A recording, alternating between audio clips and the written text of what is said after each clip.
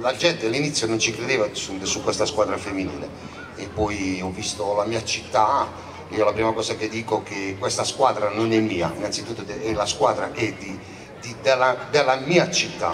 di tutti.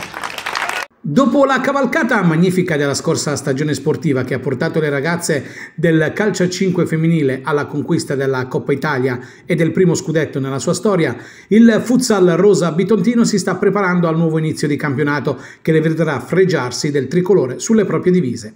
Inutile nascondere che le ambizioni sono altissime sia nella squadra sia in città, città che molto spesso trova difficoltà nel dimostrare la propria vicinanza allo sport bitontino, ma che sicuramente sta cominciando a capire quanto sia importante la presenza sugli spaldi.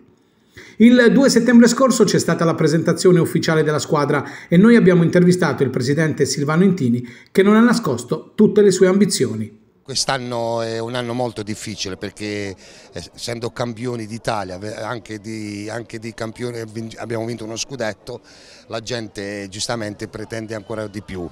Stiamo, abbiamo fatto un bel roster, abbiamo comprato due nuovi acquisti di cui Tampa e Grieco della Lazio, di far divertire la mia città, quella è la cosa principale abbiamo avuto un grande risultato vendendo degli abbonamenti e anche per la partita del 17 abbiamo già venduto, lunedì aperta la, il botteghino, già siamo arrivati a 800 biglietti. Primo appuntamento ufficiale il 17 settembre prossimo al Palasport di Mona di Bari per la Supercoppa italiana contro il kick-off. È inutile dire che questa gara dovrà essere solo l'inizio di una stagione nero-verde dove le leonesse del calcio a 5 avranno bisogno di tutto il nostro supporto.